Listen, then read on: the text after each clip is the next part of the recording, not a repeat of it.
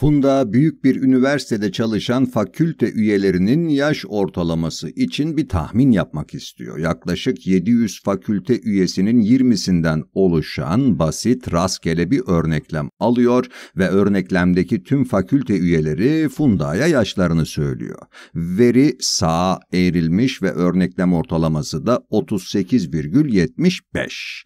Funda üniversitedeki fakülte üyelerinin ortalama yaşını tahmin etmek için elindeki veriyi kullanarak bir güven aralığı kurmak istiyor. T aralığını kurmak için hangi koşullar sağlanmıştır diyor. Hadi bakalım her zaman olduğu gibi hemen videoyu durdurun ve soruyu benden önce kendi kendinize çözmeye çalışın.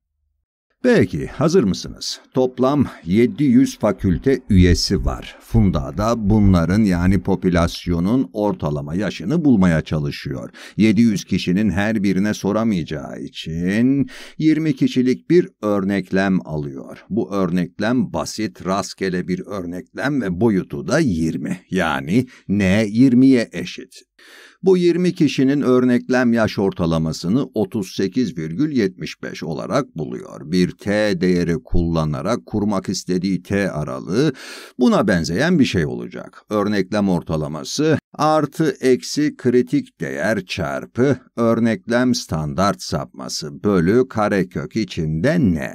Elimizde örnekleme e, dağılımının standart sapması değil de örneklem standart sapması olduğunda t değeri, t tablosu ve t aralığı kullanırız. Şimdi bunun geçerli olması için aynı z aralıkları gibi sağlamamız gereken üç koşul var. Birincisi örneklemimizin rastgele, evet rastgele olması koşulu. Soruda Funda'nın basit rastgele bir örneklem aldığını söylediklerine göre bu koşulu sağladığımızı söyleyebiliriz ve bu da A seçeneğiyle yani veri popülasyondan alınan rastgele bir örneklemdir ile uyuşuyor. Hemen bunu işaretleyelim.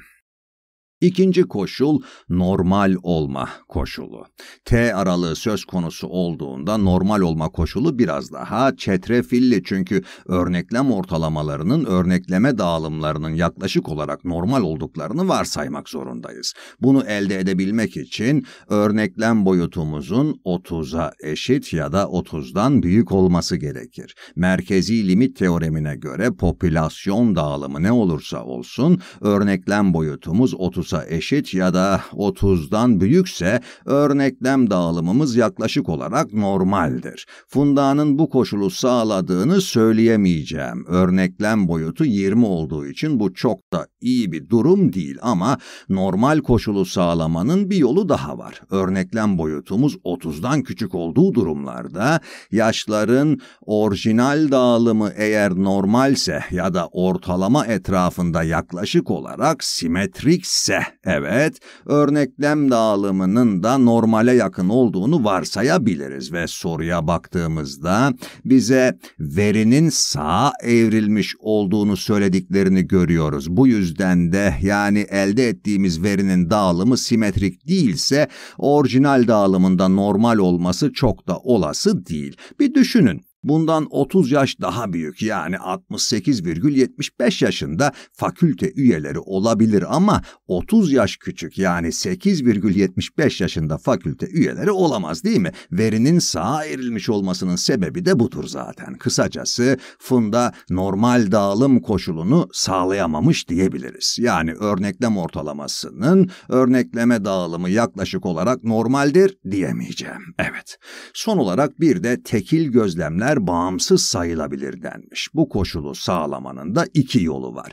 Birincisi örneklemenin geri koyma yöntemi ile yapılmasıdır. Mesela burada fakülte üyelerinden birine yaşını sorduktan sonra gruba geri dönmesini söylememiz gerekiyor. Başka bir deyişle 20 kişiye ulaşana kadar aynı fakülte üyesine yaşını bir kere daha hatta bir kere daha sorabiliriz. Funda'nın örnekleminin bu şekilde aldığını düşünmüyorum. Örneklemesini geri koyma yöntemiyle ile yapmadıysa da %10 kuralına göre. Evet bu eğer popülasyonun %10'undan az ya da %10'una eşitse koşulu sağladığımızı söyleyebiliriz. Bu popülasyonun %10'u 70 kişidir ve Funda'nın örneklem boyutu da 70'ten küçük olduğuna göre bu koşulu sağlamıştır. Ya da bu koşulu sağladığını varsayabiliriz demek daha doğru. Funda'nın T aralığıyla ilgili sorun örneklem dağılımının normal olmamasıyla alakalı olacaktır.